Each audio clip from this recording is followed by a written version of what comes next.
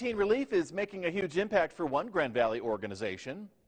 It's called Homeward Bound of the Grand Valley, and they help the homeless. They just received a $25,000 grant from the state. These grants are aimed at helping nonprofits do their jobs effectively during the COVID-19 pandemic.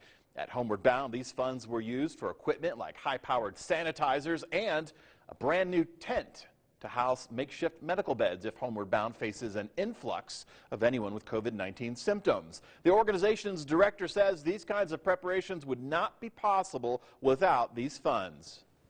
As any nonprofit, we don't have a huge amount of reserves that are available to respond to something like this. So the funds that have been provided have enabled us to do these kinds of things where otherwise we wouldn't have been able to do that.